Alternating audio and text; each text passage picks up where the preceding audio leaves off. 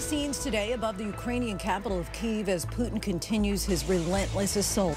Videos circulating showing kamikaze drones striking targets across the city, with the Ukrainian military desperately trying to shoot them out of the sky. Deadly prison fire. The other major headline oversees a fatal fire at one of Iran's most notorious prisons, where hundreds of anti government protesters are being held as violent protests against the government continue. Person of interest is now in custody as police in Stockton, California investigate a possible serial killer.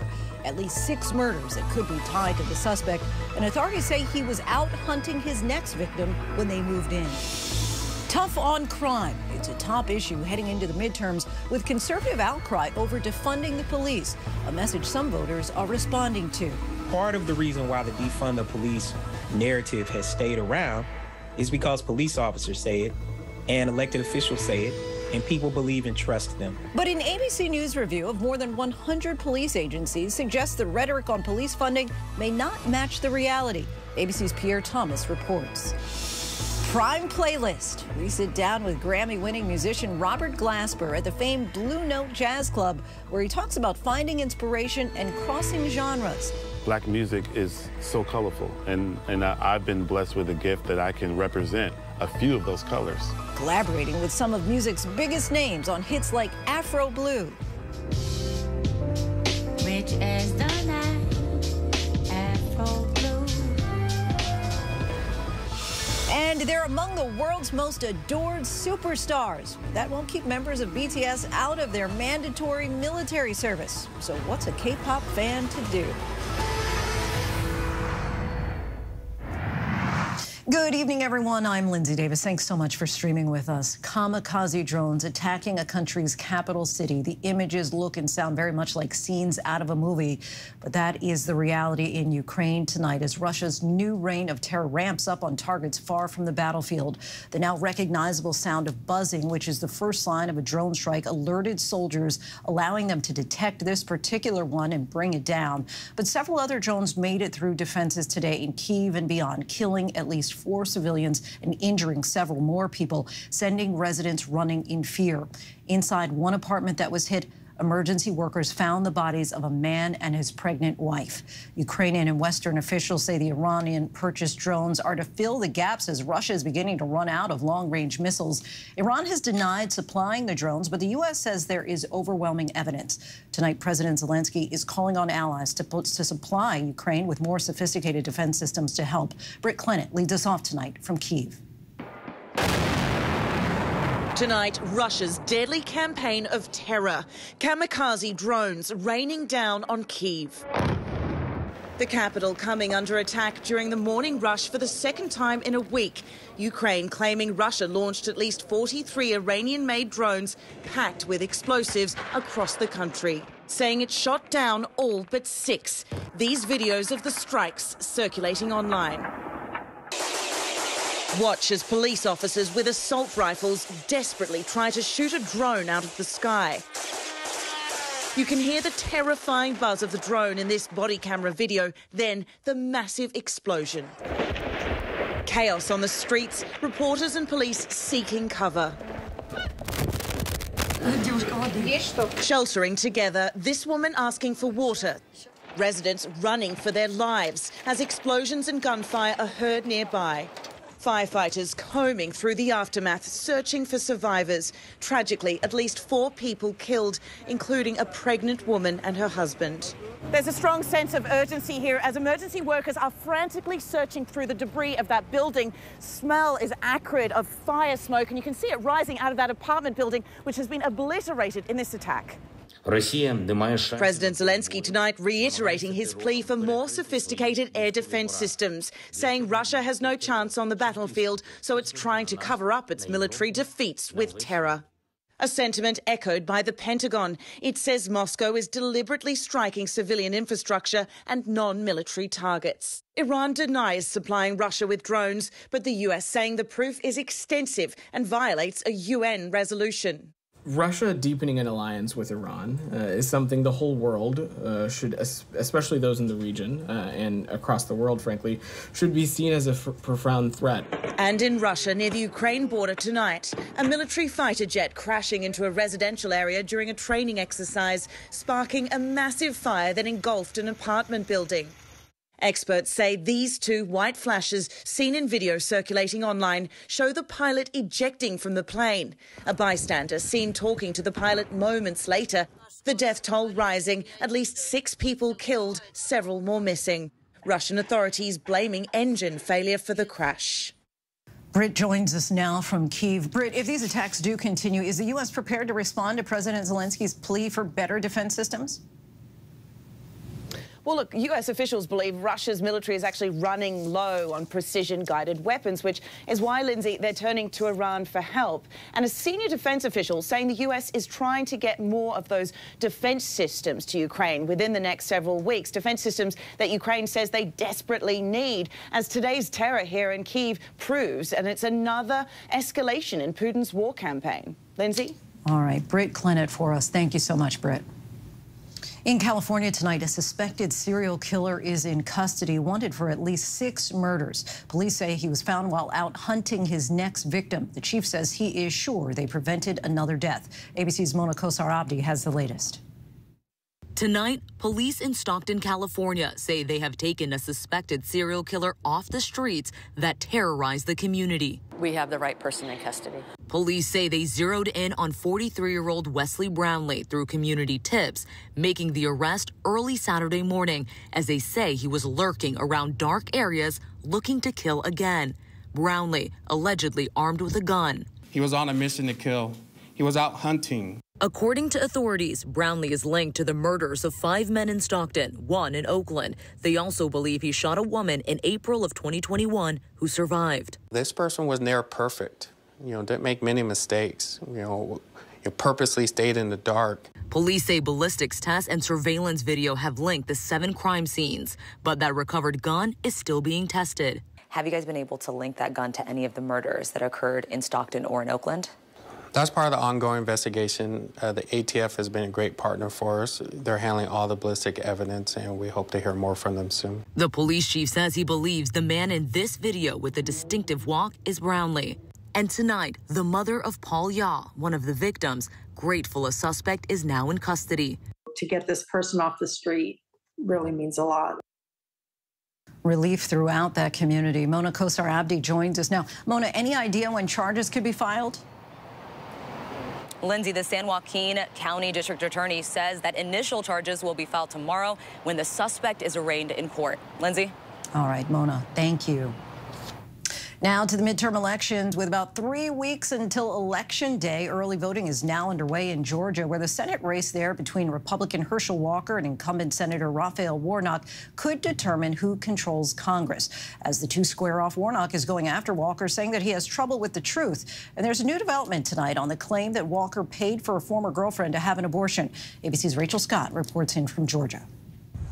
Today, as early voting begins in Georgia, Democratic Senator Raphael Warnock showing up to cast his ballot. That feels great. Feels great. Warnock turning up the heat on his Republican opponent, Herschel Walker, attacking his character at their one and only debate. My opponent has a problem with the truth. One thing I have not done, I've never pretended to be a police officer. And, and, and I've never, I've never threatened a shootout with the police. Walker responded by flashing what appeared to be a sheriff's badge. No, no, no, no. On, I have to respond to that. And you know what's so funny? I am with many police officers.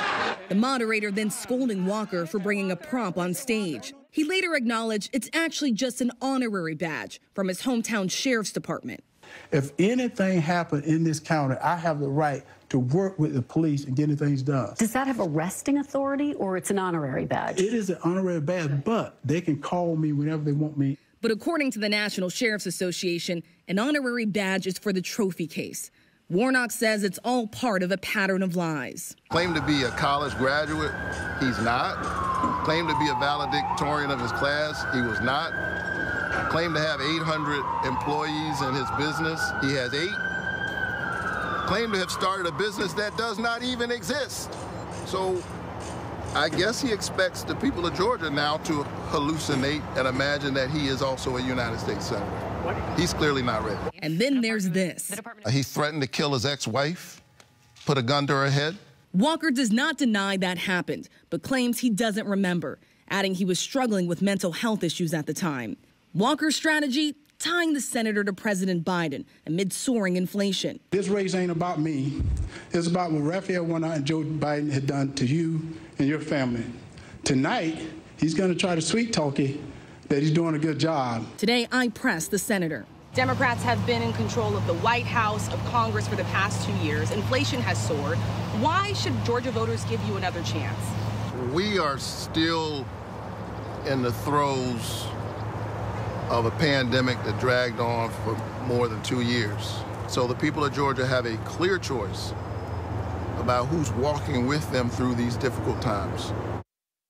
Yes, voters have a clear and distinctively different choice. Rachel Scott joins us now from Atlanta. Rachel, there's also news today from Walker on the woman who claims that he paid for her abortion. What did Walker say about the check that she says she has as evidence of that payment? Yes, Linsey, and you know this well from when you sat down exclusively with Herschel Walker. He has continued to deny these allegations, but today, for the first time, he admitted to giving that woman a $700 check. He claims that it was not for an abortion. He still would not say what the money was actually used for, what it was intended for. He initially denied even knowing who the woman was making these allegations, only later to acknowledge that is the mother of one of his children, Linsey. Rachel Scott, our thanks to you as always. We have seen horrifying new images of a deadly fire inside Iran's most notorious prison. Two Americans are among the prisoners there. This as protests continue to rage across that country. Here's ABC's chief global affairs anchor, Martha Raddatz. Tonight, Tehran's Evin prison still smoldering. New images showing charred heaps of metal from that massive inferno over the weekend that lit up the skies. With sounds of explosions and gunfire, Iranian officials say at least eight prisoners, who they describe as robbery suspects, were killed and more than 60 suffering smoke inhalation. State media blaming the fires on thugs, who they say set prison clothing ablaze after a fight broke out in a sewing room. But tight restrictions on reporting make it nearly impossible to know what really happened. Tonight, word that two Iranian American businessmen held in the prison are safe. The families of Siamak Namazi and Emad Shargi received word they have been moved to a secure area of the prison not affected by the blaze. The State Department says the men were wrongly convicted of spying. The U.S. has accused Iran of serious human rights abuses at the prison, concerns made more urgent after hundreds of Iranians have been jailed here since protests erupted a month ago. Sparked by the death of 22 year old Mahsa Amini, who died in police custody after her arrest for violating the country's strict dress code. Those protests show no sign of slowing down. And in an act of defiance on the world stage, Iranian climber Elnaz Rekabi competing in Seoul without a hijab as required. Quite a bold move there. Martha Raddatz joins us now. Martha, what do we know about Rekabi tonight? Well, there are reports, Linsey, that she is now on her way back to Iran with her team. There have been no official statements, but there are concerns about what will happen to her after she returns, whether or not she will face some sort of punishment. Linsey? Martha Raddatz for us. Thanks so much, Martha. Back here at home, a scary scene in Connecticut where a young boy was attacked by a black bear while playing near his grandparents' home. So how did his grandfather and neighbors fend off the bear until authorities arrived? Here's ABC's Trevor Ault. Tonight, that terrifying backyard bear encounter. A 10 year old boy playing outside his grandparents' house in Connecticut when the 250 pound black bear started dragging him away. The bear came out of the woods unexpectedly grabbed the poor 10 year old, dragged him off toward the woods. The boy's grandfather, who reportedly uses a wheelchair, throwing this metal bar at its head. And a neighbor heard the screams and managed to scare the animal back, freeing the boy, but it wouldn't go away. Stay in the area for now. The bear is reported to still be in the yard and aggressive at this time. State police and wildlife officials ultimately shooting and killing the bear as they say a booming bear population is leading to more dangerous encounters like these.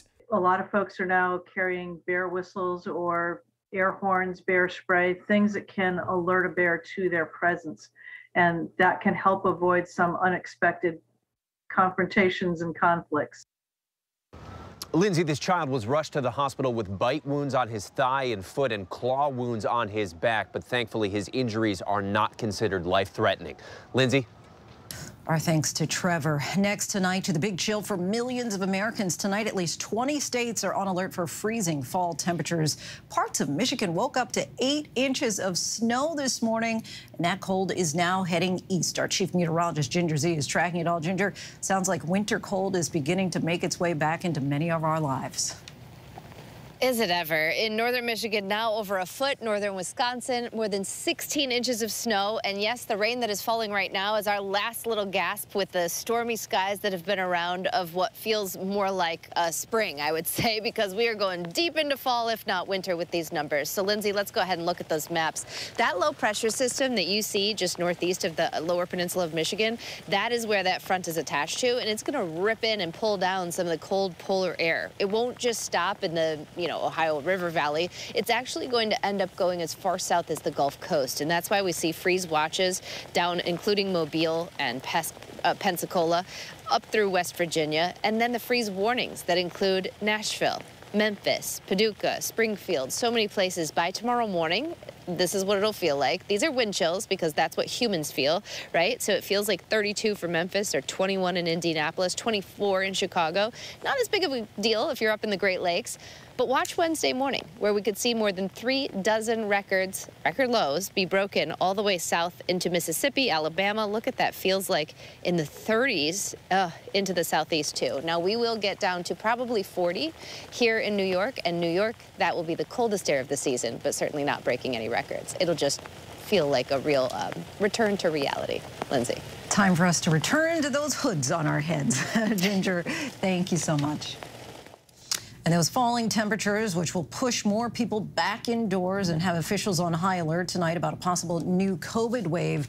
And what's concerning doctors and health officials tonight is roughly only 5% of eligible Americans have received an updated booster. Joining us now for more is ABC News contributor and pediatrician at Stanford Children's Health, Dr. Alok Patel. Doctor, always so good to have you on the show. Uh, many people might feel burned out by the pandemic. We certainly get it, understand it. But why do you think that so few people have gotten that updated shot? you know, Linsey, I think it's a lot of what you just said there is people are burned down. They're tired of this, but also the coverage is a little bit different. And people have a different sense of urgency. But the fact remains that we still do not have a good prediction of what COVID may do this winter, including a potential surge or new variant. So it's important that we remind people that yes, the primary vaccines do an extremely good job at preventing severe illness and death, but these updated bivalent boosters are our best shot against BA5, which is now the dominant strain right now in the United States. Important to get before the holiday season when we all want to gather around each other indoors. And if you are healthy without any underlying health concerns and have already had, say, two doses of Pfizer and a Pfizer booster, what factors should you consider when deciding when to get this fourth shot? Well, I think the important thing, first of all, for a lot of people is timing. Now, the bivalent booster is available for people above the age of five. If it's been at least two months since the last shot you had, whether that is a primary vaccine or a booster, or about three months since you, if you last had COVID-19, which is a lot of people. It seems a lot of people tested positive, Linsey, in late summer or early fall. But another important factor, aside from your own individual health, is the people around you is are you doing your are you doing your part to protect not only your immediate family but your community as well? Are we in danger of another Omicron type winter with a new variant if enough Americans don't get this shot? The potential is definitely there. We are seeing a dire situation happening right now with numbers in Europe as well as in Southeast Asia with different variants. We have BQ11, which could potentially cause a new surge. There's XBB. There's other names right now I don't need to rattle off for you. But the important thing is that some of these variants are off the BA5 lineage, which is off of the Omicron lineage. And we have enough data right now to suggest that the bivalent vaccine protects against these. So that is an important step forward. And we will welcome any data we see as the trials continue. And you mentioned the holidays. We know, of course, Thanksgiving, Christmas, New Year's, they're all right around the corner. Is there a best time to get those shots and be the most protected, or should people just go out and get it now? Simply put, before Halloween. Now, this is my favorite time of the year. I love all the holidays happening right now. Whether we're talking about influenza, the bivalent shot, or your primary series, which a lot of people still need to get, we need at least two weeks after each one of these vaccines to build up those antibodies. So if you're timing it around something like Thanksgiving, you want to get those shots as soon as you're eligible. Hopefully, it is in October. And I'm just curious, I've been doing a lot of traveling lately at places on airplanes, restaurants, airports, malls. For the, the vast majority of people are not wearing masks at all. What is your thought on that? Well, my thought is that this is contributing to what may potentially be a rise in COVID cases, but it's also worrisome because if you look at hospitals right now, we are seeing a surge of other viruses such as influenza and RSV. I will tell you from personal experience that children's hospitals are full. The ICUs are full, and it's not necessarily just because of COVID. So it is that behavior of people having a more relaxed attitude, gathering around each other, taking off their masks. We have to remember that these are life saving measures. So simple things like wearing a mask, staying home when you're sick, telling others to stay home if they're sick, and washing your hands. Those are not behaviors that should stop with COVID 19. They should continue indefinitely for every single cold and flu season from here on. And when should people get their flu shots? Right now. if you haven't already, right now, before the holiday season. In any given year, influenza will hospitalize thousands of Americans, taking the lives of some 30 to 60,000. And based on what we're seeing in that southern hemisphere, we are worried about a potentially bad flu season. So get that shot yesterday. All right, will do. Doctor, thank you so much. Appreciate your time. Thank you. When we come back, what happened moments before a plane crashed into a home with a woman and her toddler reportedly inside? He honed his music skills in church, but now he's creating something all his own. How Robert Glasper's unique blend of sounds and collaborations are revolutionizing the music industry. And many Republican candidates are condemning calls to, quote, defund the police. But does this campaign talking point really reflect the reality of police department budgets in our country? Our Chief Justice correspondent Pierre Thomas investigates. Stay with us. This is ABC News Live. The crush of families here in Poland. At refugee centers. In Putin's Russia. On the ground in Ukraine. Close to the front line. Here at the White House. Destructive. Cat 4 storm. Here along I-5. Boston is in the bullseye. Let's go. We made it. ABC News Live. America's number one streaming news. Anytime, anywhere. Streaming 24-7. Straight to you for free. Thank you for making ABC News Live America's number one streaming news. Bring them on. If only there was a place in the morning to start my day. With a smile, somewhere to help me get in the know. A place as spectacular as, well, me. Hmm, I think we might know a place, right, guys? Bring your friends. Oh, wait, there is. Good morning, America. GMA, 7A, every day. Boom, boom, boom. Good morning, Michael. Good morning, Robin. Good morning, America. How are you? Boom! Now that's how you start your day, people. All right, here we go. You ready? Let's do it. Yes, it's the show America wants and America needs right now. This is What Would You Do? Let's go.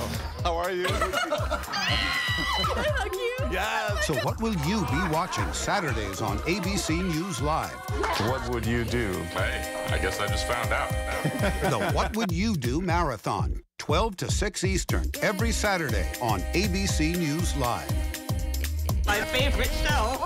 As of today, in a big way, we have inaugurated abcnews.com. A lot has changed in our world since Peter made that announcement.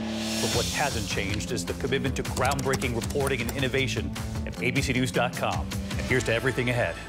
This is ABC News Live Prime. Thanks so much for streaming with us. Live reporting, breaking news, exclusives, award winning, powerful, eye opening. ABC News Live Prime with Linsey Davis, streaming weeknights.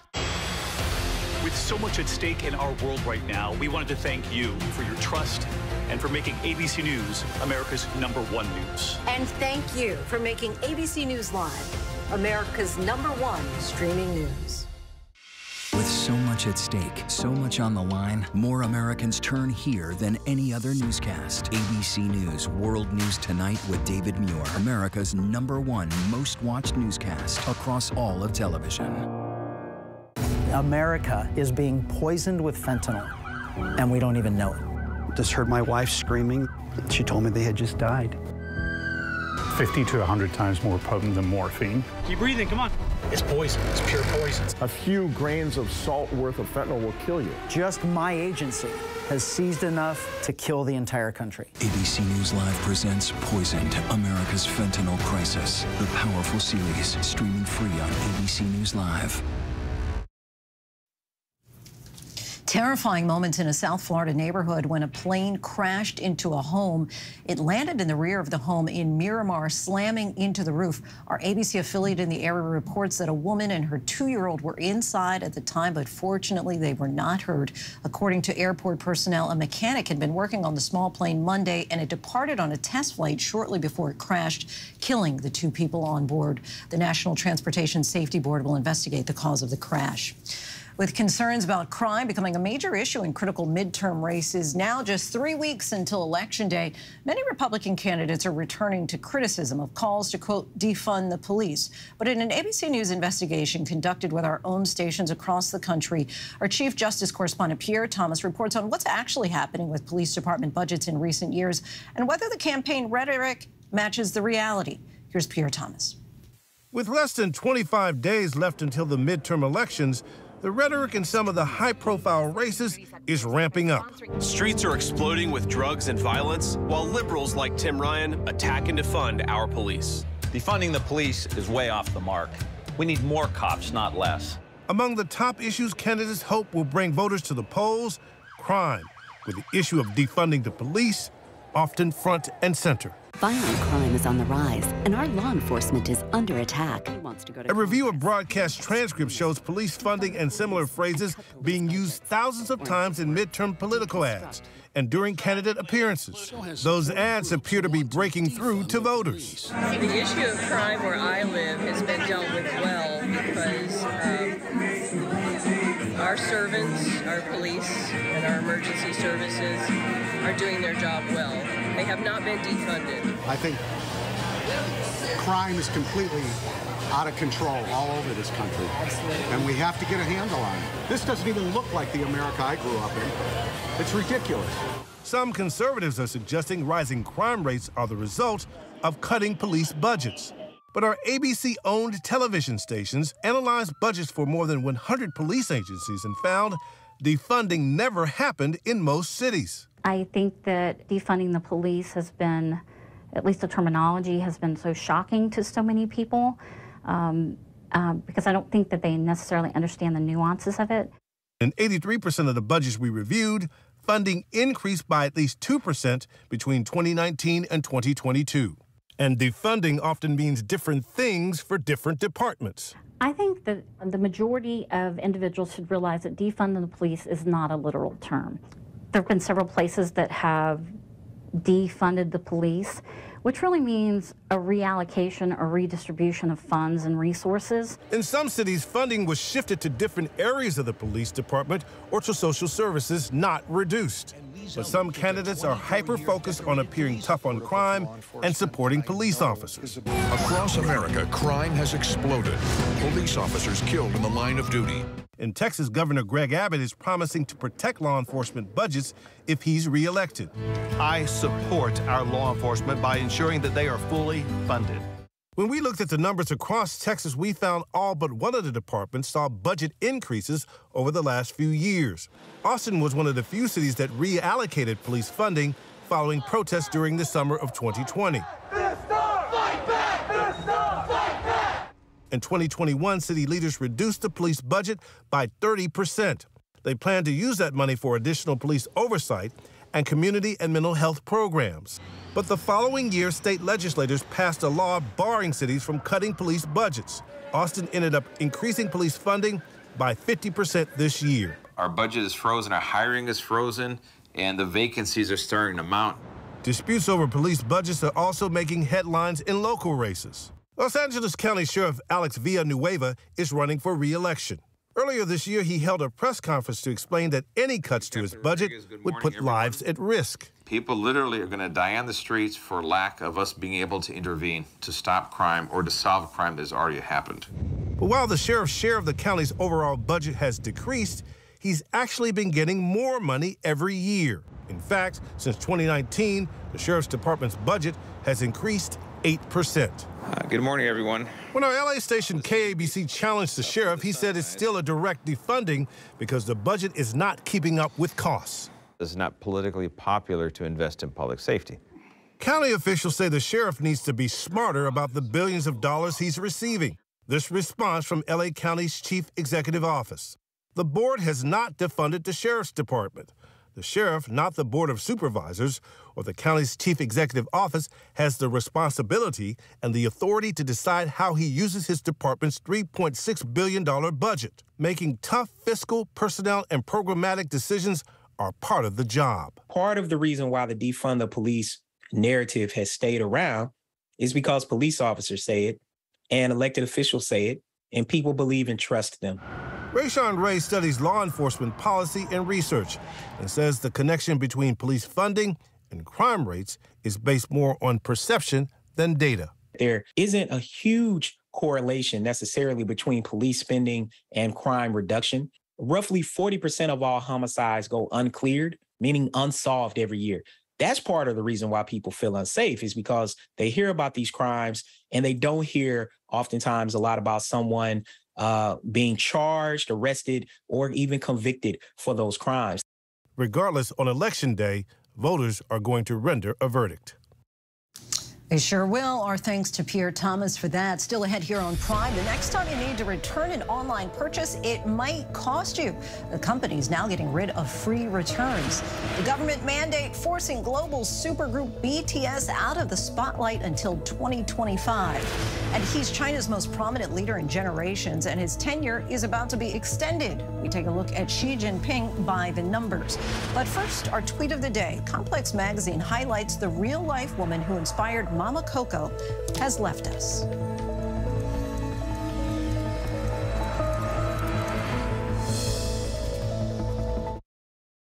All right, here we go. You ready? Let's do it. Yes, it's the show America wants and America needs right now. This is What Would You Do? Let's go. How are you? Yeah. So what will you be watching Saturdays on ABC News Live? What would you do? Hey, I guess I just found out. the What Would You Do Marathon, 12 to 6 Eastern, every Saturday on ABC News Live. My favorite show. This is ABC News Live. The crush of families here in Poland. At refugee centers in Putin's Russia. On the ground in Ukraine, close to the front line. Here at the White House. Destructive Cat 4 storm. Here along I-5. Boston is in the bullseye. Let's go. We made it. ABC News Live, America's number one streaming news. Anytime, anywhere. Streaming 24-7, straight to you for free. Thank you for making ABC News Live America's number one streaming news. America is being poisoned with fentanyl, and we don't even know it. Just heard my wife screaming. She told me they had just died. 50 to 100 times more potent than morphine. Keep breathing, come on. It's poison, it's pure poison. A few grains of salt worth of fentanyl will kill you. Just my agency has seized enough to kill the entire country. ABC News Live presents Poisoned, America's Fentanyl Crisis. The powerful series, streaming free on ABC News Live. Bring them on. If only there was a place in the morning to start my day. With a smile, somewhere to help me get in the know. A place as spectacular as, well, me. Hmm, I think we might know a place, right, guys? Bring your friends. Oh, wait, there is. Good morning, America. GMA, 7A, every day. Boom, boom, boom. Good morning, Michael. Good morning, Robin. Good morning, America. How are you? Boom! Now that's how you start your day, people. Ready for election night, I'm ready for debate night, I'm ready for it all. This midterms is really important. Hi, everyone. We're going to run you ragged. What would George do? We're working on it, George. We're going to make you proud. As of today, in a big way, we have inaugurated abcnews.com. A lot has changed in our world since Peter made that announcement. But what hasn't changed is the commitment to groundbreaking reporting and innovation at abcnews.com. And here's to everything ahead. Welcome back, everyone. He is China's most prominent leader since Mao Zedong, and his tenure is about to be extended. Here's Xi Jinping by the numbers. It was 2012 when Xi consolidated power and became China's paramount leader, the general secretary of the Chinese Communist Party and chairman of the Central Military Commission, who became president the next year. The 69-year-old oversees the largest population of any country in the world, with more than 1.4 billion residents. On Sunday, Xi delivered a 105-minute-long speech to nearly 2,300 delegates at the opening of the 20th National Congress at the Great Hall of People on Tiananmen Square. His remarks set the stage for Xi to award himself a third five-year term as general secretary. He called for more military expansion and has already doubled China's defense budget since taking power, which was estimated at $240 billion in 2021, second only to the United States. The GDP in China has also grown exponentially during his tenure, hitting $18 trillion in 2021. But China has faced some economic setbacks tied to his zero COVID policy that has led to repeated lockdowns. Xi's hardline positions on Taiwan and Hong Kong, his friendliness toward Russia, and evidence of human rights abuses have all sent the American view of China plummeting, with 82% now sharing an unfavorable view of China, according to Pew Research. And we still have lots to get to here on Prime tonight. President Biden is calling it a game changer for millions of Americans how you can apply for student loan forgiveness right now. And it's a social network with ties to the Capitol attack, the celebrity who's now set to buy Parler. But first, a look at our top trending stories on abcnews.com.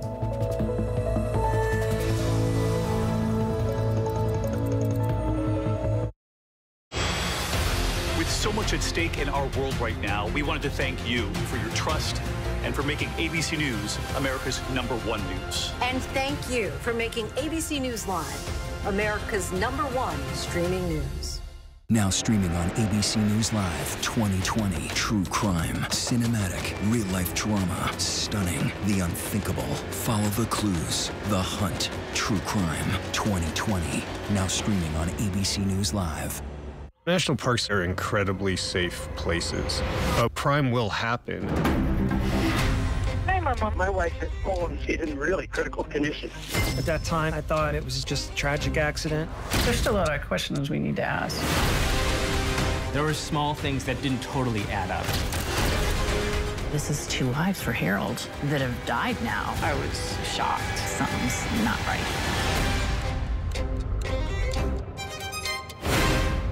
Admit it. These days, what you need to know seems to change just about every day. What is it that you really want to know, need to know? To help you not just get through your day, but to make the most of it. Feel smarter. Feel better. Feel happier. Well, how about a third hour of Good Morning America?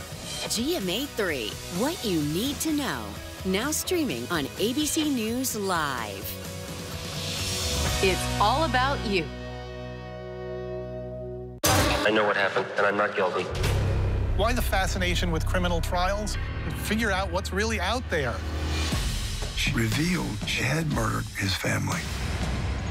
I know in my heart they did this. It's the time of suspicion. The ending's really tough.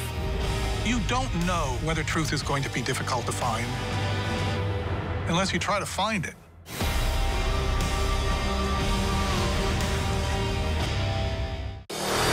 America's number one news, ABC News. Most watched, most trusted, and streaming live to you anytime, anywhere, and free. This is ABC News Live, America's number one streaming news. Free to you 24 7. Watch America's number one news whenever you want it, wherever you are, anytime. ABC News Live, streaming live and free on all platforms.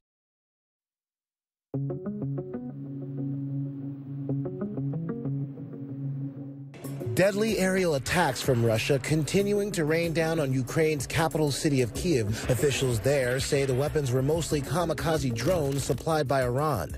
Iran has denied providing Russia with the weapons. This Ukrainian parliament member calling for a global response to Russia's assault. We're asking also for the uh, further sanctions uh, for, for this country that is actually you know, selling uh, drones to, um, to Russia. And Russia's military confirming a warplane has crashed into a residential area on the Sea of Azov. The U.S. and NATO kicking off nuclear training exercises in Europe. The long planned annual nuclear drills will include dozens of aircraft, including U.S. B 52 long range bombers.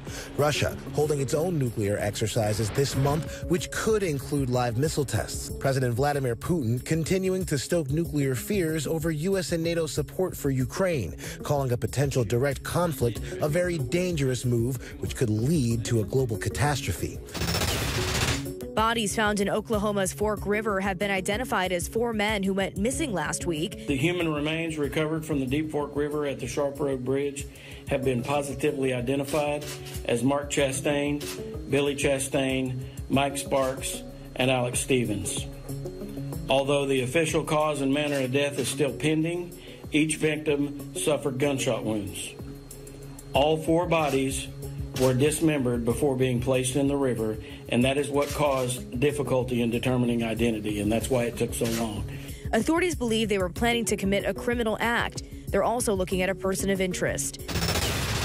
President Biden says you can now file for relief for thousands of dollars of federal student loan debt. I'm announcing how millions, millions of people working and middle uh, class folks can apply for get this relief, and it's simple and it's now. It's easy, it's fast. At the end of my remarks, I'm going to officially launch this new app, new application site at studentaid.gov. Studentaid.gov. Up to 20,000 will be forgiven for people with Pell grants, up to 10,000 for other types of loans. Starting today, millions of Americans can buy hearing aids over the counter without a prescription. A shift in FDA policy now allows retailers like Walgreens, Walmart, and Best Buy to sell those devices. The new rule will also make the hearing aids more affordable. The earpieces cost on average between four and five thousand dollars. Some retailers are going to be listing the devices as low as 200 bucks. Kanye West sets his sights on a social media platform. The rapper entered into a deal to take over Parler, the app that's grown in popularity among conservatives. Parler's parent company made an announcement today saying West has made, quoting now, a groundbreaking move into the free speech media space. West's latest venture comes after Twitter blocked him for a tweet Twitter called anti-Semitic. No details on the acquisition deal between West and Parler.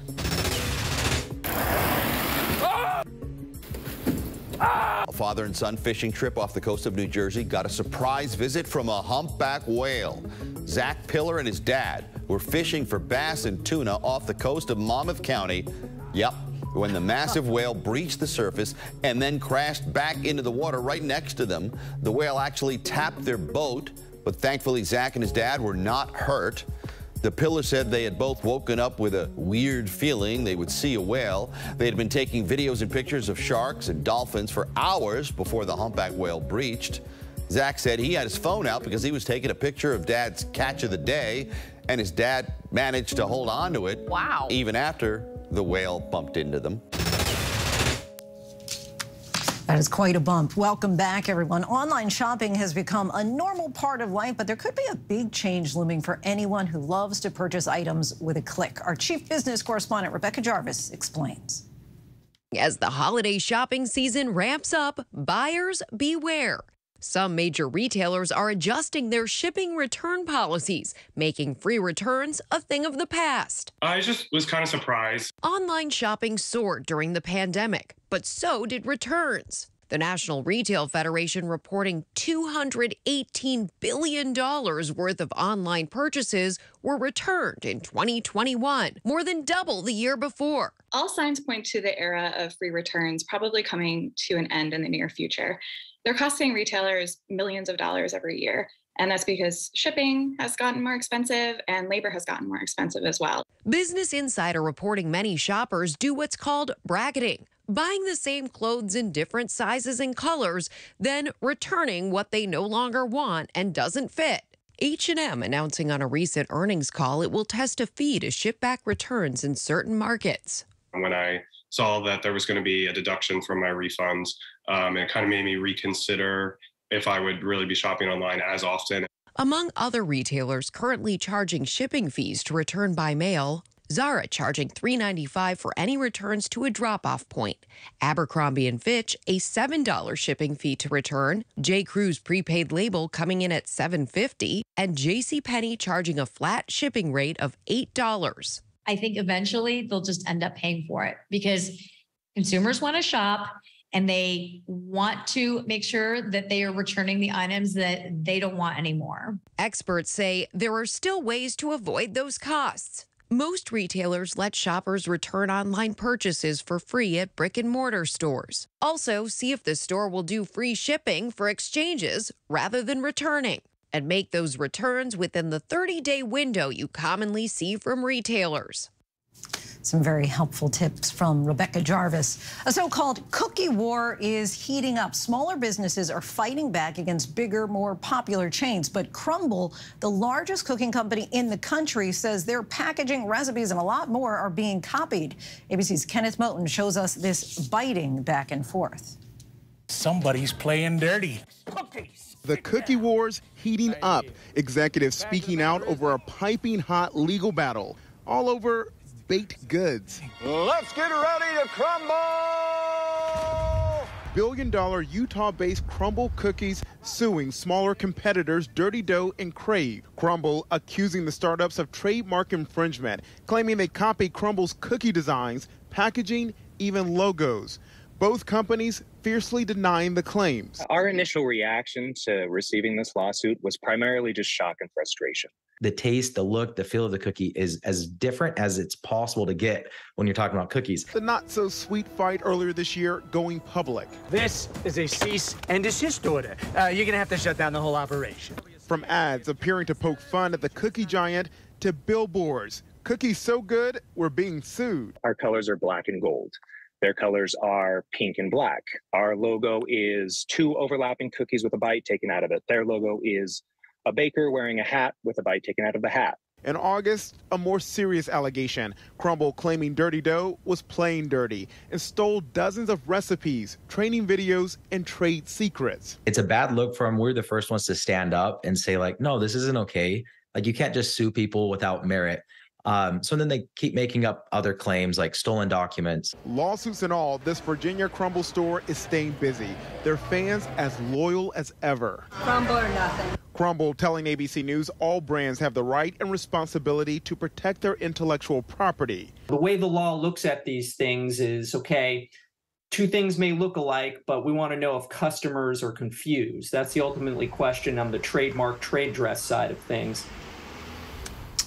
That may not be the way the cookie crumbles. Our thanks to Kenneth for that. They are a global sensation, have broken records and catapulted K-pop to the forefront of entertainment. But now the band BTS is planning to put music on hold in order to serve in the military. Our Chris Connolly has this story.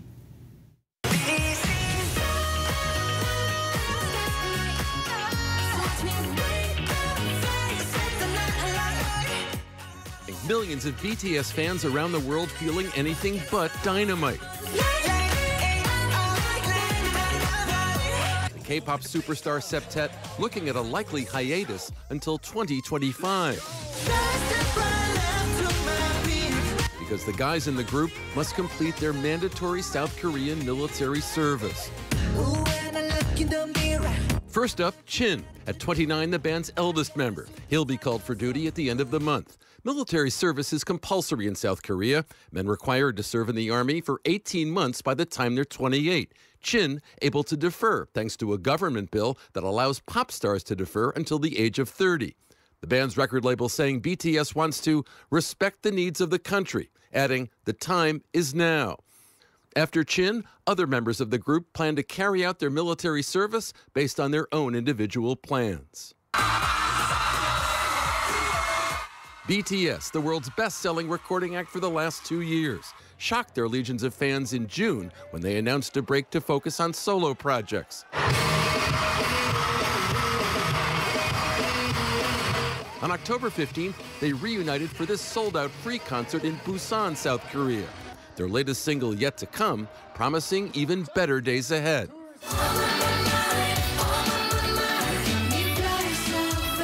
When the band came to GMA, they told us keeping a positive outlook is the key to their success. It's about finding, finding little joy in love and being curious about the little things. Now, fans will be eagerly awaiting their return, as by 2025, BTS hopes once again to be shining through the city with a little funk and soul.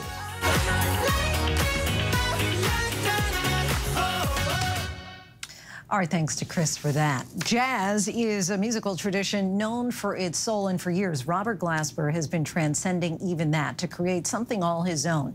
That effort is evident in his latest album, Black Radio 3. The record shows off the four time Grammy winner's genre bending sound and stunning collaborations with well known artists like H.E.R., Common, India.Arie, and the late Mac Miller. Our Phil Lipof sat down with a pianist to talk about revolutionizing a sound steeped in history in our latest Prime playlist.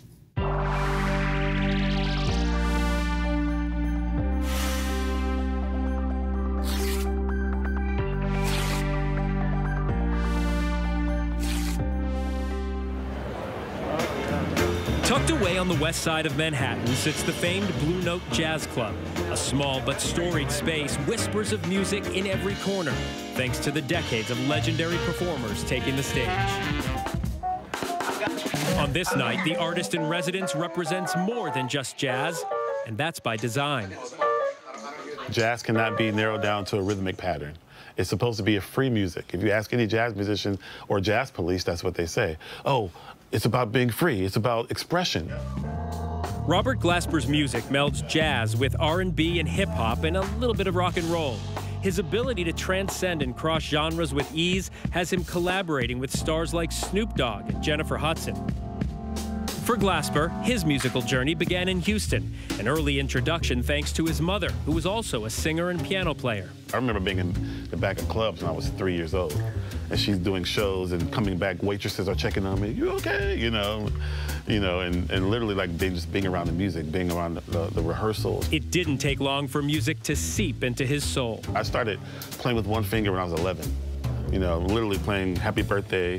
That was the first song I ever learned. Uh, yeah, yeah, exactly. The Happy Birthday. And then it just came fast after that, just like, you know. And once I zoned in on it, I learned I learned fast. So I think when I was about 15, I was like, I really want to do this.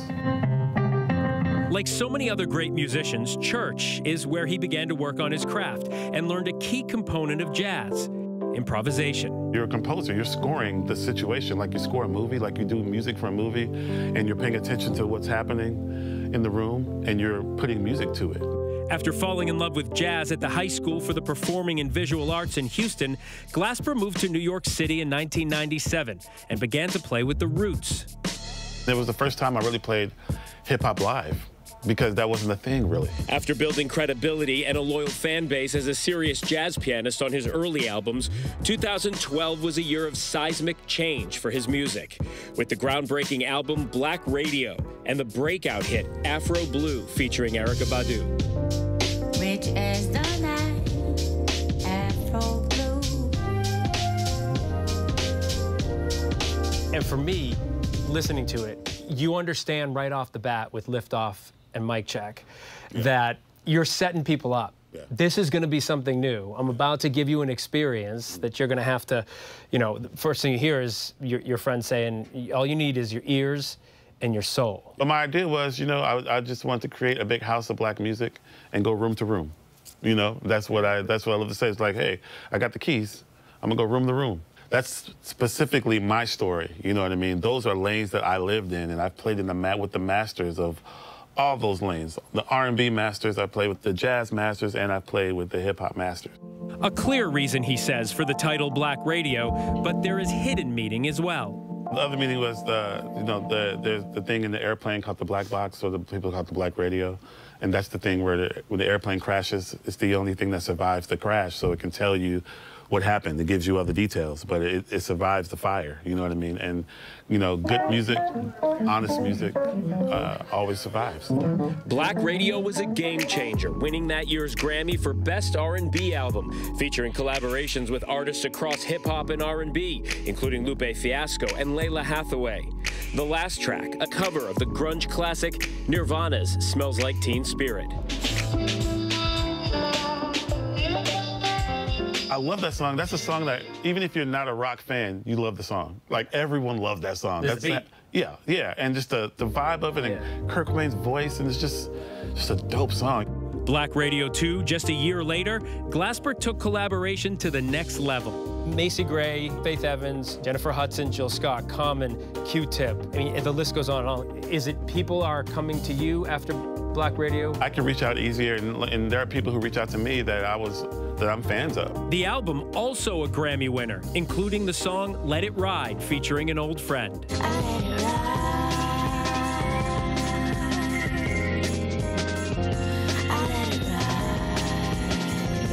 You knew Norah. and ja- we went to, me and Norah went to jazz camp together. You and Norah Jones went to jazz camp. Yep, went to jazz camp in uh, 11th grade. In 2015, appearing with Kendrick Lamar playing on his To Pimp a Butterfly album, including On These Walls. Receiving an Emmy for the song Letter to the Free with Common, America's moment to come to Jesus. written for the Ava DuVernay documentary 13th. In February 2022, Black Radio 3 dropped, featuring the song Black Superhero. The refrain is every block, every hood, every city, every ghetto needs a black superhero. Yeah. Um, and then at the end, you talk about black women specifically, about how everything comes from Yeah. black women, which is so beautiful. When I did Black Radio, the whole premise was, you know, most people um, have the gift of doing one genre. That's the genre they do.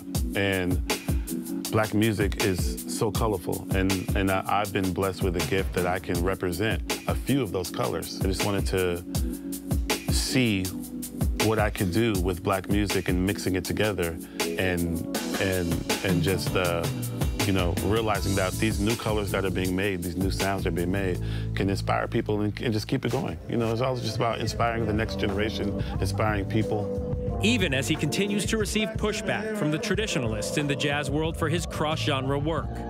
Well, they say that's not jazz. What are you doing? You got to come back to playing jazz. A lot of them try to like shove me to the side, you know, and kind of, uh, you know, exclude me from the community, the jazz community. A community he loves and wants to expand.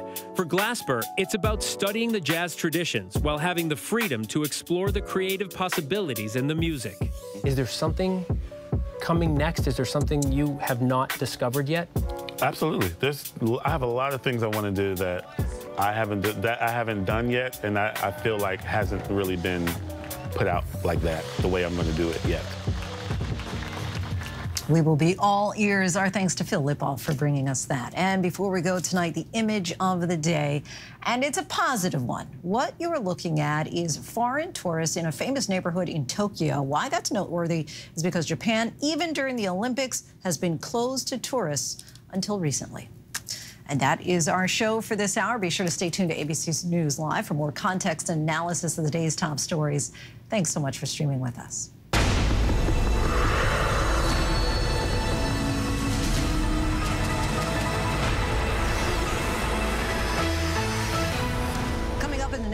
We're staying on top of a few things. The request from Steve Bannon's attorneys as a judge decides on his sentence for contempt of Congress. And what public health officials say is now leading to the decline in the number of monkeypox cases in the U.S. and the precautions that should still be taken. America's number one news, ABC News. Most watched, most trusted, and streaming live to you anytime, anywhere, and free. This is ABC News Live, America's number one streaming news. Free to you 24 7. Watch America's number one news whenever you want it, wherever you are, anytime. ABC News Live, streaming live and free on all platforms. ready for election night. I'm ready for debate night. I'm ready for it all. This midterms is really important. Hi, everyone. We're going to run you ragged. What would George do? You're working on it, George. We're going to make you proud.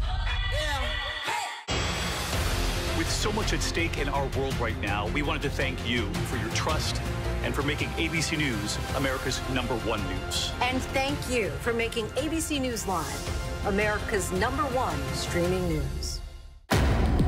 He thought he was God. He's now one of the most vilified men in the world.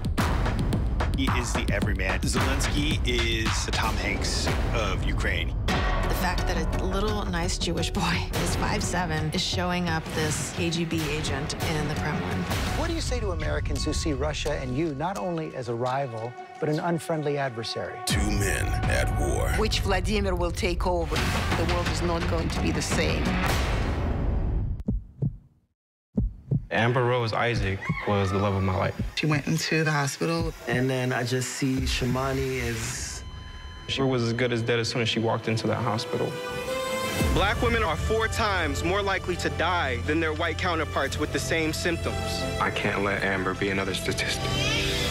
We need to make sure that this doesn't happen to anyone else. This fight is not over. We're doing this together, man.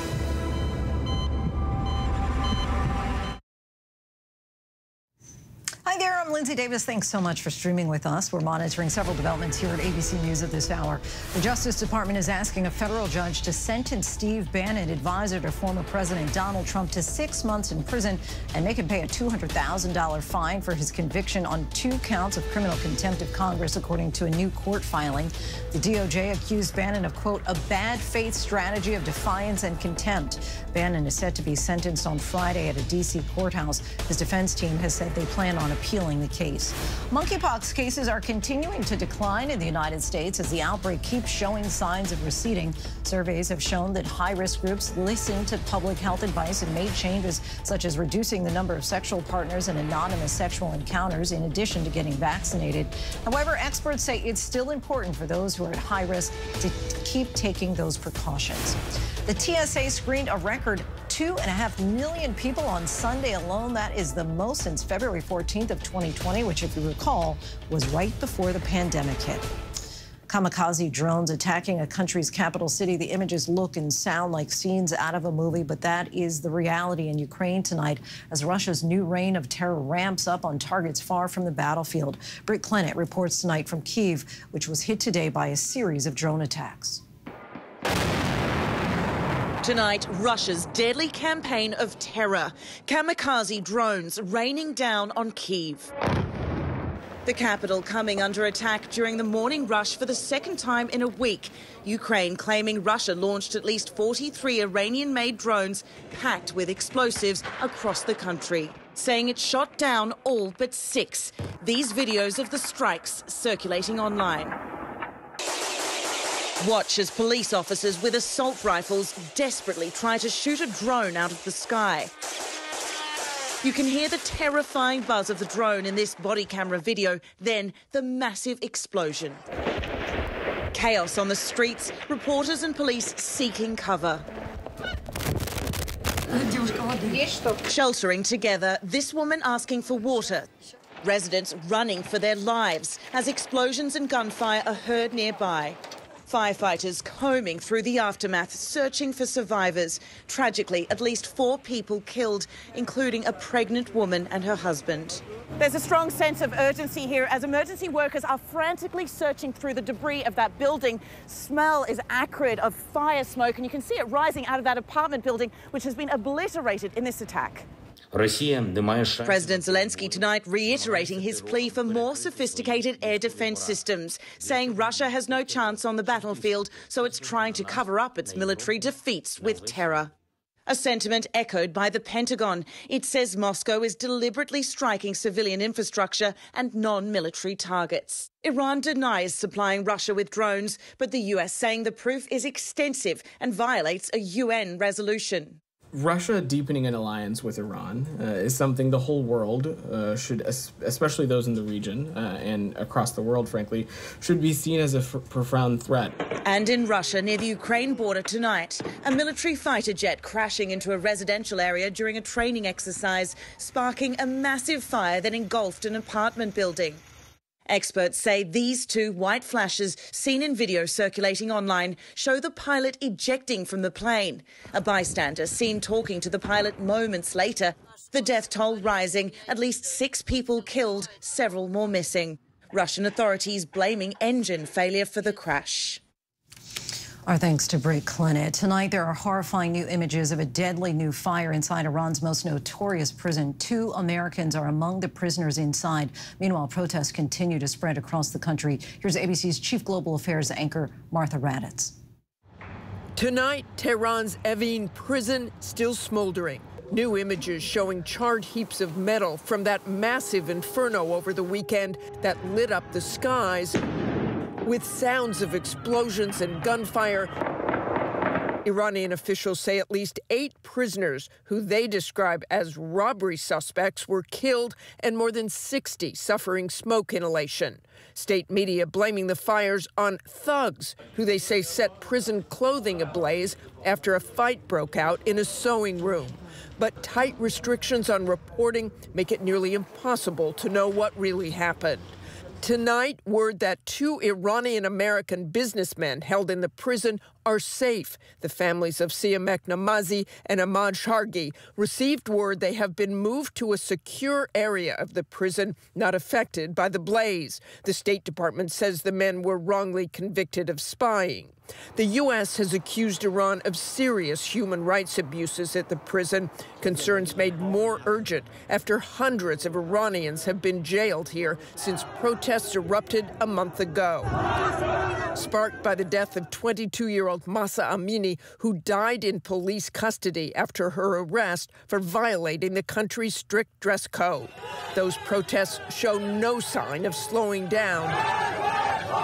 And in an act of defiance on the world stage, Iranian climber Elnaz Rekabi competing in Seoul without a hijab as required. Quite a bold move there. Our thanks to Martha. Now to the midterm elections. Just three weeks until Election Day. Early voting is now underway in Georgia, where the Senate race between Republican Herschel Walker and incumbent Senator Raphael Warnock could just determine who controls Congress. As the two square off, Warnock is going after Walker, saying that he has trouble with the truth. And there's a new development tonight on the claim that Walker paid for a former girlfriend to have an abortion. ABC's Rachel Scott reports from Georgia. Today, as early voting begins in Georgia, Democratic Senator Raphael Warnock showing up to cast his ballot. That feels great. Feels great. Warnock turning up the heat on his Republican opponent, Herschel Walker, attacking his character at their one and only debate. My opponent has a problem with the truth. One thing I have not done, I've never pretended to be a police officer. And, and, and I've never, I've never threatened a shootout with the police. Walker responded by flashing what appeared to be a sheriff's badge. No, no, no, no, on, I have to respond to that. And you know what's so funny? I am with many police officers. The moderator then scolding Walker for bringing a prop on stage. He later acknowledged it's actually just an honorary badge from his hometown sheriff's department. If anything happened in this county, I have the right to work with the police and getting things done. Does that have arresting authority or it's an honorary badge? It is an honorary badge, but they can call me whenever they want me. But according to the National Sheriff's Association, an honorary badge is for the trophy case. Warnock says it's all part of a pattern of lies. Claimed to be a college graduate, he's not. Claimed to be a valedictorian of his class, he was not. Claimed to have 800 employees in his business, he has eight claim to have started a business that does not even exist. So I guess he expects the people of Georgia now to hallucinate and imagine that he is also a United States Senator. He's clearly not ready. And then there's this. He threatened to kill his ex-wife, put a gun to her head. Walker does not deny that happened, but claims he doesn't remember, adding he was struggling with mental health issues at the time. Walker's strategy tying the senator to President Biden amid soaring inflation. This race ain't about me. It's about what Raphael Warnock and Joe Biden had done to you and your family. Tonight, he's going to try to sweet talk you that he's doing a good job. Today, I pressed the senator. Democrats have been in control of the White House, of Congress for the past two years. Inflation has soared. Why should Georgia voters give you another chance? We are still in the throes of a pandemic that dragged on for more than two years. So the people of Georgia have a clear choice about who's walking with them through these difficult times. Our thanks to Rachel Scott for that. In California tonight, a suspected serial killer is now in custody, wanted for at least six murders. Police say he was found while out hunting for his next victim. The chief says he is sure they present, prevented another death. ABC's Mona Kosar Abdi has the latest. Tonight, police in Stockton, California say they have taken a suspected serial killer off the streets that terrorized the community. We have the right person in custody. Police say they zeroed in on 43 year old Wesley Brownlee through community tips, making the arrest early Saturday morning as they say he was lurking around dark areas looking to kill again. Brownlee, allegedly armed with a gun. He was on a mission to kill. He was out hunting. According to authorities, Brownlee is linked to the murders of five men in Stockton, one in Oakland. They also believe he shot a woman in April of 2021 who survived. This person was near perfect. You know, didn't make many mistakes. You know, you purposely stayed in the dark. Police say ballistics tests and surveillance video have linked the seven crime scenes, but that recovered gun is still being tested. Have you guys been able to link that gun to any of the murders that occurred in Stockton or in Oakland? That's part of the ongoing investigation. Uh, the ATF has been a great partner for us. They're handling all the ballistic evidence, and we hope to hear more from them soon. The police chief says he believes the man in this video with the distinctive walk is Brownlee. And tonight, the mother of Paul Yaw, one of the victims, grateful a suspect is now in custody. To get this person off the street really means a lot. Such a relief to that community. Our thanks to Mona. With concerns about crime becoming a major issue in critical midterm races, many Republican candidates are returning to criticism of calls to, quote, defund the police. But in an ABC News investigation conducted with our own stations across the country, our Chief Justice correspondent Pierre Thomas reports on what's actually happened with police department budgets in recent years and whether the campaign rhetoric matches the reality. Here's Pierre Thomas. With less than 25 days left until the midterm elections, the rhetoric in some of the high profile races is ramping up. Streets are exploding with drugs and violence, while liberals like Tim Ryan attack and defund our police. Defunding the police is way off the mark. We need more cops, not less. Among the top issues candidates hope will bring voters to the polls crime, with the issue of defunding the police often front and center. Violent crime is on the rise, and our law enforcement is under attack. A review of broadcast transcripts shows police funding and similar phrases being used thousands of times in midterm political ads and during candidate appearances. Those ads appear to be breaking through to voters. The issue of crime where I live has been dealt with well because um, our servants, our police, and our emergency services are doing their job well. They have not been defunded. I think crime is completely out of control all over this country. Absolutely. And we have to get a handle on it. This doesn't even look like the America I grew up in. It's ridiculous. Some conservatives are suggesting rising crime rates are the result of cutting police budgets. But our ABC owned television stations analyzed budgets for more than 100 police agencies and found defunding never happened in most cities. I think that defunding the police has been, at least the terminology, has been so shocking to so many people um, um, because I don't think that they necessarily understand the nuances of it.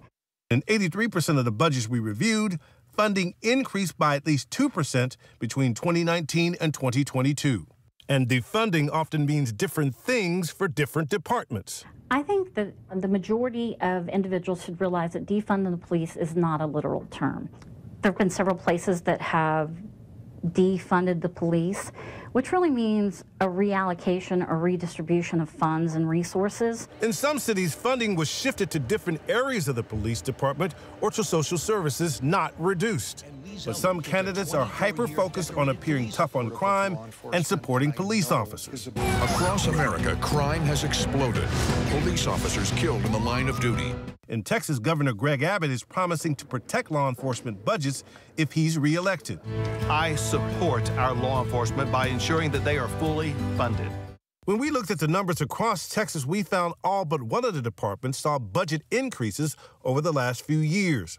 Austin was one of the few cities that reallocated police funding following protests during the summer of 2020.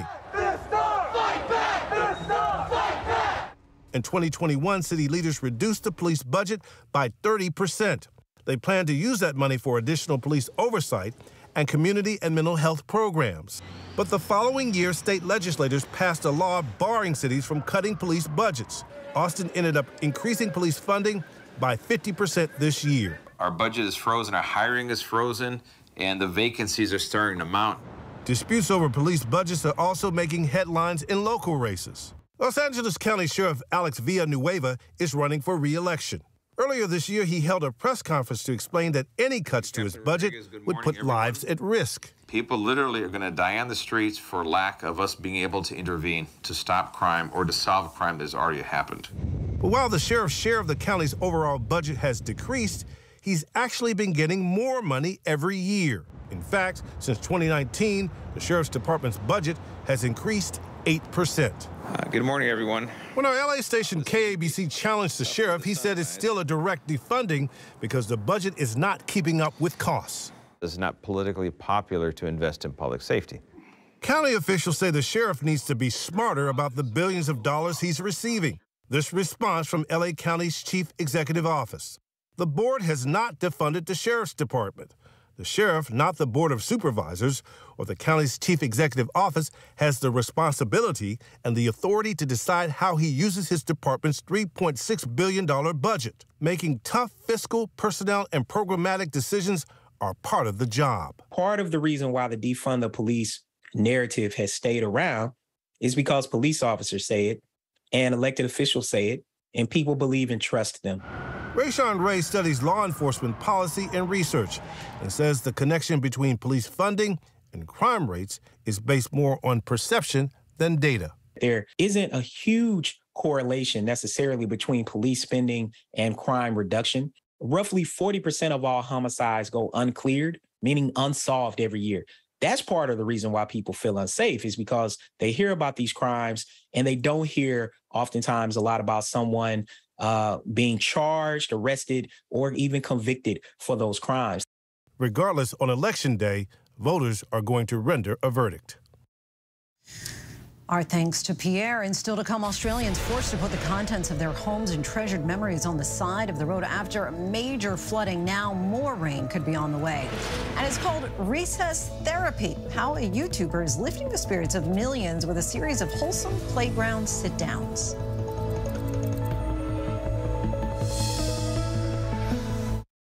This is ABC News Live. The crush of families here in Poland. At refugee centers. In Putin's Russia. On the ground in Ukraine. Close to the front line. Here at the White House. Destructive. Cat 4 storm. Here along I-5. Boston is in the bullseye. Let's go. We made it. ABC News Live. America's number one streaming news. Anytime, anywhere. Streaming 24-7. Straight to you for free. Thank you for making ABC News Live America's number one streaming news. Bring them on. If only there was a place in the morning to start my day. With a smile, somewhere to help me get in the know. A place that's spectacular as well, me. Hmm, I think we might know a place, right, guys? Bring your friends. Oh, wait, there is. Good morning, America. GMA, 7A, every day. Boom, boom, boom. Good morning, Michael. Good morning, Robin. Good morning, America. How are you? Boom! Now that's how you start your day, people. All right, here we go. You ready? Let's do it. Yes, it's the show America wants and America needs right now. This is What Would You Do? let's go. How are you? Yeah. So what will you be watching Saturdays on ABC News Live? What would you do? Hey, I guess I just found out. the What Would You Do Marathon, 12 to 6 Eastern, every Saturday on ABC News Live. My favorite show. As of today, in a big way, we have inaugurated abcnews.com. A lot has changed in our world since Peter made that announcement. But what hasn't changed is the commitment to groundbreaking reporting and innovation at abcnews.com. And here's to everything ahead. This is ABC News Live Prime. Thanks so much for streaming with us. Live reporting, breaking news, exclusives, award winning, powerful, eye opening. ABC News Live Prime with Linsey Davis, streaming weeknights. Welcome back. We're tracking several headlines around the world. Nearly 100 migrants were discovered naked at the Greek-Turkish border, an incident being called a sad and inhumane event. Greek officials said that migrants' accounts suggested that they were taken to Greece by the Turkish military police, an allegation Turkey denies, and it called on Greece to stop the quote manipulation and dishonesty. Tensions between the two countries have escalated recently over migrant issues, with Turkey accusing Greece of pushbacks, which Athens denies. Thousands of Australians returned to homes and businesses to assess flood damages, and even as evacuation warnings remained in inland regions of the southeast, with authorities warning of more rain ahead, which could trigger renewed flooding. The Weather Bureau has forecast another wild weather system that could bring rains up to two inches across some regions already hit hard by floods. Marigold flower growers expect good sales despite high supply costs as Day of the Dead celebrations approach in Mexico. Marigolds are known as the flower of the dead, as their scent is believed to attract the souls of the dead and bring them back to the land of the living. And there is nothing like some wholesome content to lift our spirits. And that's the exact focus of Recess Therapy, a YouTube show that features not so in depth interviews with kids.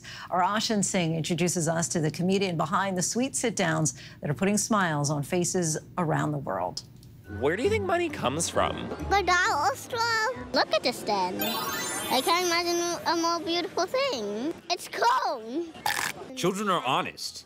Are you kidding? No. And they don't always hold back. Did you hear the joke about the roof? No, I've never heard the joke about the roof. Never mind, it's over your head.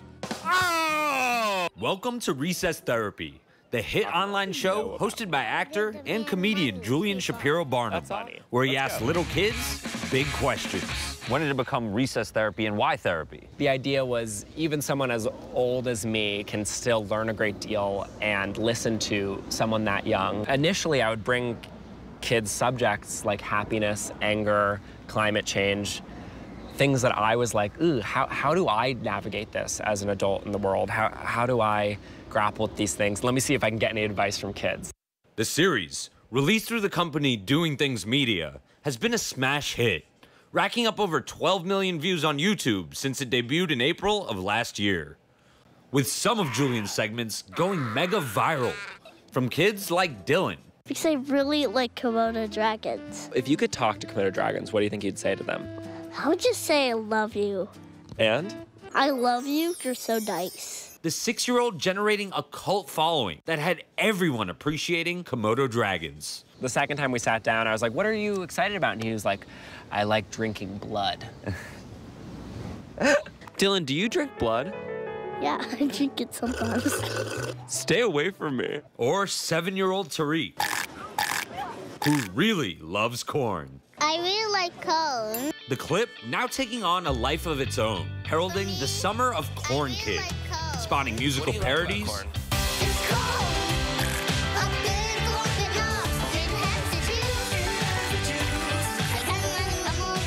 And even a Chipotle ad. Mild? No. Sour cream? No. Any corn? It's corn. We met up with Julian as he headed to Prospect Park in Brooklyn to film an episode. He was actually raised not too far from here.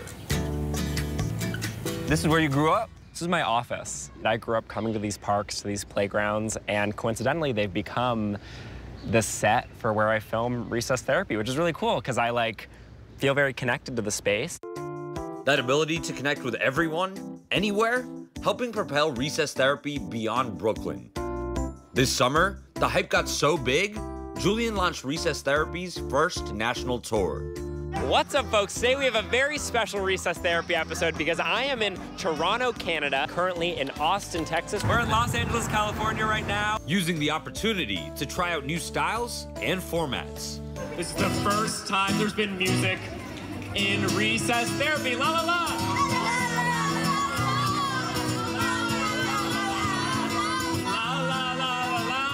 But it's not all about being silly. These kids have a lot to teach us on topics like our planet, You're bigger, so you're worse for the environment. I'm small. love, Is there anything that you love that's not a human? Bacon. Yeah, do you love bacon more than your mom? I can't choose. and even our time left on Earth. You got a long, long, and amazing life ahead of you. I know, longer than yours. Really? How much longer do you think I have? 20 weeks. What's the secret? Because it feels like so many people our age and older have a really hard time talking to kids. Yeah, be interested in what they're interested in. Like, mm. follow their excitement. I find a lot of kids don't get a space to really work through their ideas. Back at Prospect Park, Julian is about to bring recess therapy to life. When you go out there today, Yeah. tell me a little bit about the game plan. What are you going to ask about? Yeah, so we're actually gonna be finishing an episode that I started last week about icky feelings. So I'm talking to kids about being embarrassed and getting grossed out. How do you feel when there's a really yucky thing near you? I, I, I, I, I, I just walk away, that's it. All right, so you're gonna walk away? Yeah. Let me see. So here's some worms. Oh, thank you. I thought you were gonna walk away. Is it embarrassing that you're doing this interview right now? Kind of. What do you want to say to people who feel confused about why they get embarrassed? Um, well, it's normal to get embarrassed.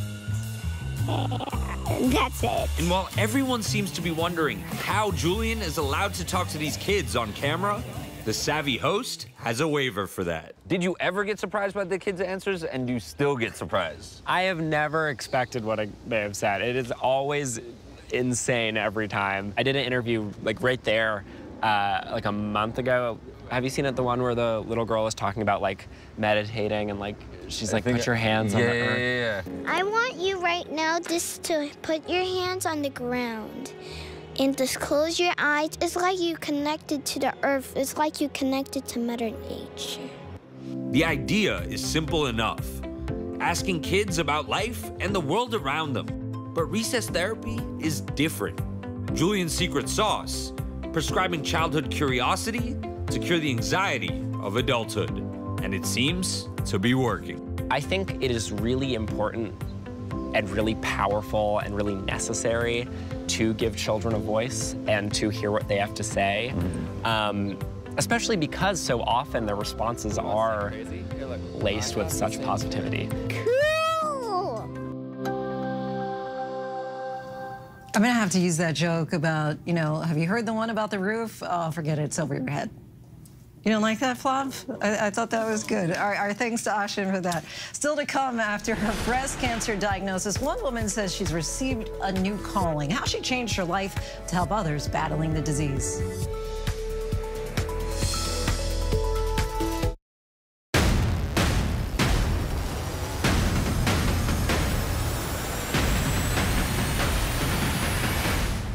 After an extraordinary news-making year, and now with the historic midterms inching closer, thank you for making ABC's This Week America's number one news and politics show on Sunday mornings.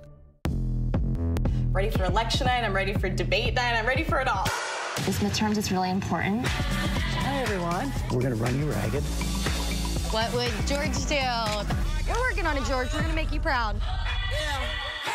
This is ABC News Live Prime. Thanks so much for streaming with us. Live reporting, breaking news, exclusives, award winning, powerful, eye opening. ABC News Live Prime with Linsey Davis, streaming weeknights. Ready for a little GMA-ish promo? Okay, here we go. GMA 7A every day with Robin, George, and Michael. That's how you start the day.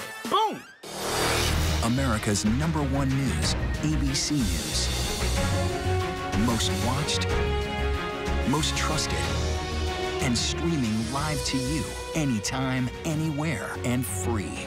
This is ABC News Live, America's number one streaming news. Free to you 24 7. Watch America's number one news whenever you want it, wherever you are, anytime. ABC News Live, streaming live and free on all platforms.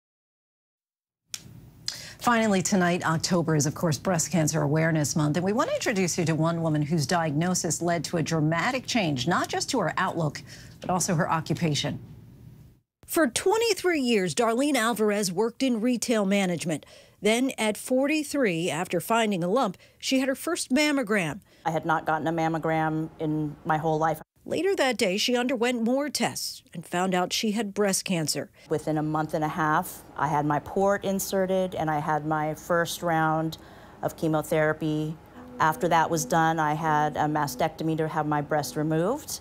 And then after that, I had 36 rounds of radiation. That time as a cancer patient wasn't just life changing, it caused her to change her career, hanging up retail for good, believing there was value in her empathy and experience. At 45, she started training to become a nurse. Knock, knock.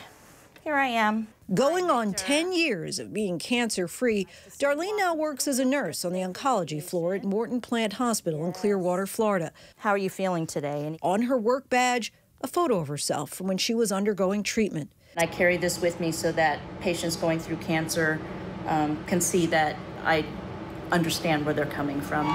Similar stories were on parade this weekend across the country as thousands took part in making strides against breast cancer walks to raise awareness and money for breast cancer research. Back in Florida, Darlene credits that mammogram with saving her life, and she hopes this message for women just might save theirs. Please go get your mammogram. It is not painful, it's quick, and one screening can save your life. Some great advice there, and that is our show for tonight. Be sure to stay tuned to ABC News Live for more context and analysis of the day's top stories. I'm Linsey Davis. Thank you so much for streaming with us. Have a great night.